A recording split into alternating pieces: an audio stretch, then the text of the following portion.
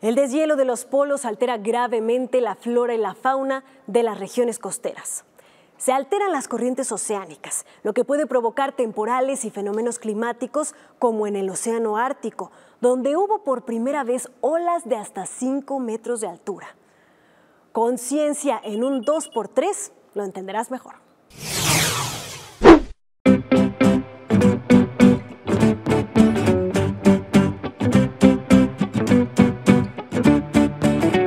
Hola a todos y todas. ¿Te has preguntado qué pasará con los polos para el año 2100?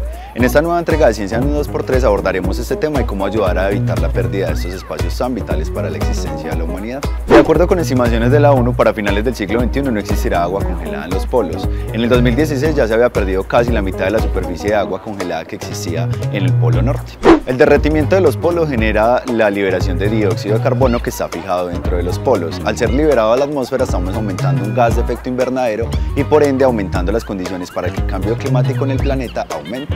Es responsabilidad de todos y todas evitar la pérdida de nuestros polos, por eso te invitamos a que seas un consumidor consciente y responsable y que te preguntes cada vez que vayas a consumir si en realidad necesitas eso que deseas comprar.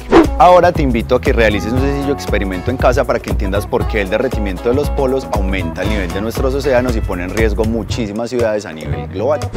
Para realizar nuestro experimento utilizaremos unos sencillos materiales, una cubeta con hielo, un marcador, dos recipientes, uno con piedras, otro con agua y al que tiene piedras le debemos agregar también agua. Ahora vamos a tomar hielo y lo vamos a agregar en ambos recipientes.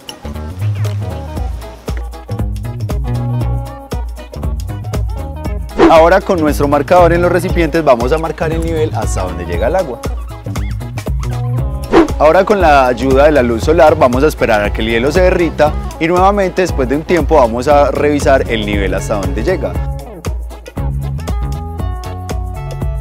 Después de un tiempo de haber expuesto nuestro experimento al sol, nos vamos a dar cuenta que en el resultado vamos a obtener que el agua aumenta eh, su nivel dentro de las rocas, mientras que el agua que contiene el hielo eh, mantiene su nivel, digamos porque ese hielo ya está ocupando un espacio dentro de este recipiente, mientras que el hielo que se encontraba por fuera de las rocas empezó a llegar, digamos, al fondo de estas, haciendo que el nivel aumentara. ¿Tienes otras ideas sobre cómo disminuir nuestros impactos ambientales para evitar el derretimiento de los polos? Si es así, comparte las tuyas a través de nuestras redes sociales arroba Fundación EPM. Hasta una nueva entrega de Ciencia en un 2x3.